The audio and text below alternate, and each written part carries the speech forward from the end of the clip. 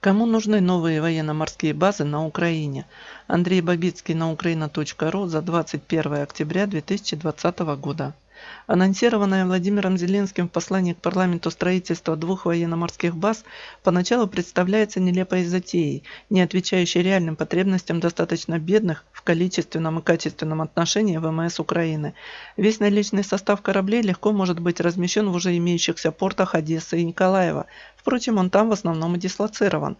Правда, украинское руководство вынашивает амбициозные планы закупить и построить новые суда. И на сей раз это совсем не прожектерство, столь свойственное правящей команде. 5 июля в Одессе президент Украины объявил о намерении превратить Украину в военно-морскую державу. Каковой она сейчас точно не является ввиду того, что, как считают многие эксперты, за время прошедшее с обретения независимости после развала СССР свой военно-морской флот она фактически утратила утратила. Как ни странно, заявление Зеленского покоится на довольно серьезной почве. Заместитель руководителя Офиса президента Игорь Жовкова в интервью агентству «Интерфакс Украина» рассказал, как планируется реализовать проект восстановления ВМС. Во время недавнего визита украинской делегации в Лондон Зеленскому были представлены британские компании, которые занимаются строительством военно-морских объектов. Они должны будут участвовать в строительных работах на Украине. Украинский министр обороны в эту же поездку подписал меморандум об усилении сотрудничества в военно-технической сфере между Украиной и Британией, который предусматривает выделение кредита в размере 1,25 миллиардов евро, 1,6 миллиардов долларов на совместные проекты в оборонной отрасли. По словам замглавы офиса, часть этой суммы может быть использована для создания баз. Правда, деньги пока еще не дали. Жовква также указал на их локализацию. Одна будет находиться на Черном море, другая на Азовском. Речь также идет об увеличении количества боевых единиц. По данным издания «Европейская правда», на Украине может быть налажена сборка британских катеров. А в общей сложности их должно, должны быть построено 8.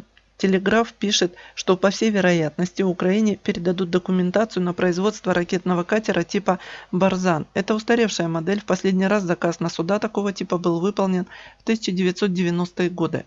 Более современными средствами обороны Лондон с Украиной делиться явно не желает. Но Киев рад и этому, поскольку на фоне имеющихся у Украины образцов британские катера выглядят как чудо самой современной военной техники. Новые корабли будут оснащены как украинскими, так и британскими ракетными комплексами. Но даже с учетом расширенного состава флота, две базы ни к чему. Одной хватило бы за глаза. Это странное обстоятельство заставляет экспертов искать ответы, которых украинское руководство не дает. В вышеупомянутом интервью Игорь Жовква отверг предположение о том, что новые объекты станут местом дислокации ВМС Соединенного королевства. А между тем, только так можно объяснить, для чего украинская власть начинает проект, который ей, во-первых, явно не по карману, во-вторых, перекрывает нужды что нынешних, что будущих украинских ВМС. Версия, которая снимает все вопросы, сводится к следующему. Главными бенефициарами появления новых гавань, гаваней станут западные страны, в первую очередь США и Великобритания. НАТО сможет расширить свое пока не слишком значительное присутствие на побережье Украины, бросая таким образом новый вызов России.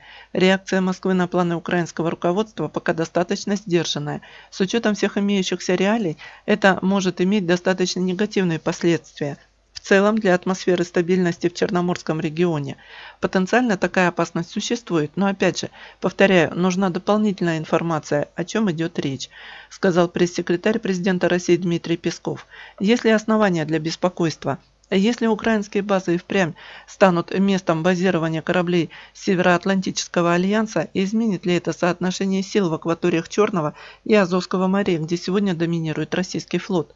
Эксперты однозначно утверждают, что нет. Военный потенциал российских ВМС с учетом модернизации вооружений, ввода в эксплуатацию новых судов таков, что перекрыть его, перекрыть его НАТО не сможет ни при каких обстоятельствах. Вывод напрашивается сам собой. Усилия, направленные на сдерживание России даже при наличии новых, дадут нулевой результат. Россия спокойно сможет достойным образом ответить на любую провокацию, поэтому лучше, как говорится, не начинать. Андрей Бабицкий. Кому нужны новые военно-морские базы на Украине?